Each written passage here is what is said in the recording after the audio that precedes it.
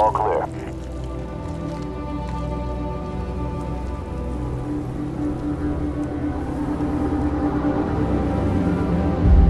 My name is Alex Mercer.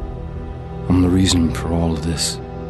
They call me a killer, a monster, a terrorist. I'm all of these things.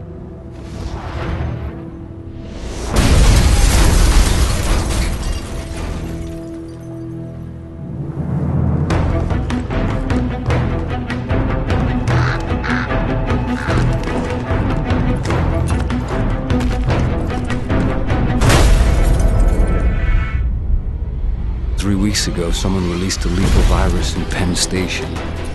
I woke up in the morgue. Now I hunt. I kill. I consume. I become.